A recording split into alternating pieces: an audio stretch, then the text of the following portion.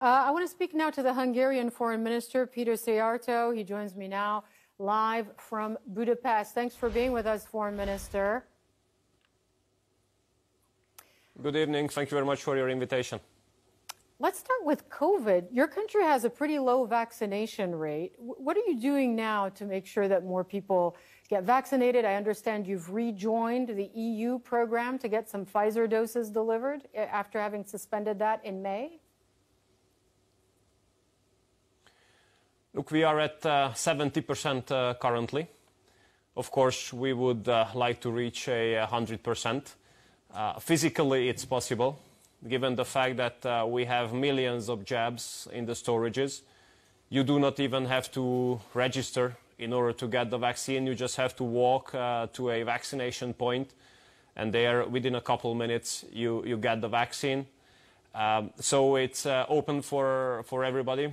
Uh, we hope that uh, we can convince more and more people in the remaining 30% uh, to be vaccinated. But there's one category where we are number one in the European Union currently, and this is the booster shots, so the third yeah. shots basically. Around 35, 36% of those uh, who are eligible for uh, vaccination have been vaccinated by the booster also, which is now becoming more and more important because of the, yeah. uh, the new and new variants. Uh, so actually, you know, we were very quick at the beginning. We were the first EU member state to reach, uh, or among the first ones to reach 60% uh, of vaccination rate. Mm -hmm. That was very important because with that we could relaunch economy and reopen the country and get rid of the restrictions. Since then, we could add another 10%, and we hope that we can, we can climb higher. So speaking of the EU, they're still very unhappy with your government, as you know. Uh, some people accuse the Orban government of anti-democratic practices. I understand a letter has been sent from the Commission to your country asking for answers to some questions on rule of law concerns that they have. Uh, questions about, for instance, how EU funds have been used. Have they been used in ways that were not 100% transparent? Did you respond to the letter?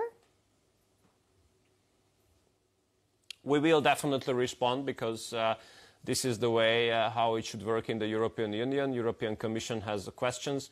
Uh, we definitely answer. But, you know, our debate with, the, um, with Brussels and with the European Commission goes deeper uh, than, than that. There are basically two reasons uh, why these debates are getting, let's say, more and more severe. First, yeah. um, there is a totally different opinion on both, on both sides uh, about the future of the European Union. Uh, Brussels, uh, with some member states, obviously uh, want to create a uh, United States of Europe with more competencies uh, brought to, to Brussels, taking away competencies from the member states. We definitely oppose that. And ha I have to admit that we are in minority now, so uh, those who yeah, uh, want European Union to be based on, uh, on strong member states uh, and you want to bring minority. back some competencies to the, um, uh, to the member states.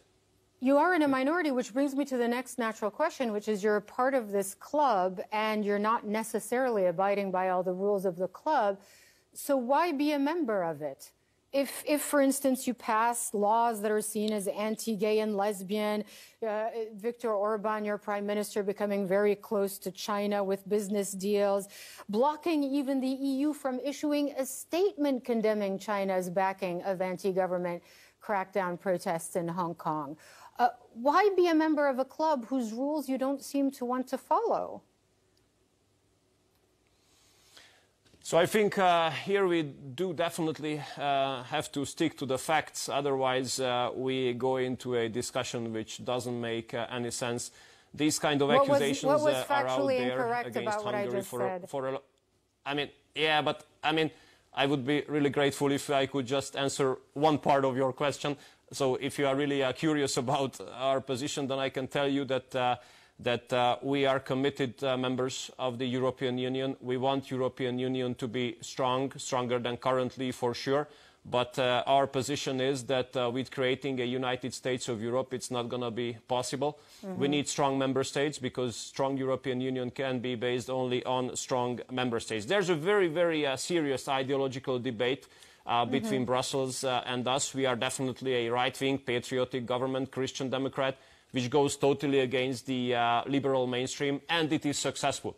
and we understand that this uh, cannot be digested by Brussels. We have not passed, we have not passed any kind of anti-gay law in this country. The Hungarian parliament, uh, which has been elected democratically, uh, has passed a law uh, on protection of the children and this law ensures that the, uh, that the, that the right uh, of, sexual, of sexual education of the children is an exclusive right of the parents. It doesn't say anything about the LGBT community. That's lie, that's fake news. Okay. Well, there are differences of opinion on the interpretation of the law. A, qu a quick last one on something you told the Financial Times. You were quoted as saying that you believe the United States will interfere or will try to interfere in your elections next spring. Um, do, you, do you really believe that the Americans are going to meddle to try to get your party that's been in power for quite some time to lose next year? Look, this is another classical example uh, how fake news uh, are being spread. You should watch the video. It's, uh, it is to be found on internet in, in many uh, uh, websites. What I have answered uh, to those questions, and they have they have put quotes into my answer which I have never said. What I said was the following, and I hope that I can I can I can say it here clearly now that we are living in Central Europe we are not living on the moon, we are not living on the Mars. This, in this region, we always had to count on the West and the East, so both sides willing to uh, put influence on this region. Unfortunately, this is our history about. We have a clear understanding and clear lessons uh, of, of, history. And these kind of attempts to uh, have influence uh, on this region are continuous and will be here with us um, in the future also. And I can tell you that, yes, there are embassies who are openly uh, financing uh, articles uh, on, on internet against the government. Yes, there are uh, embassies who uh, go on tenders uh, to, um, to give money for so-called free press, which is always um, against um, the mm -hmm. government. You know, we have our secret services, which, have already, which have already detected some preparations uh, in, in this regard that certain countries, certain entities, certain organizations uh, would like to influence the public will in Hungary, even regarding the elections. But these services, right. out of which one is in my portfolio, have the duty to go against such kind of uh, attempts to interfere. And we will do our best, of course, to make it sure that it is going to be exclusively the Hungarian people who will decide about the future of this country. All right, so you believe there are efforts to interfere. The Hungarian Foreign Minister Peter Szijjártó, thank you very much for joining us live from Budapest in Hungary this evening. Thank you very much.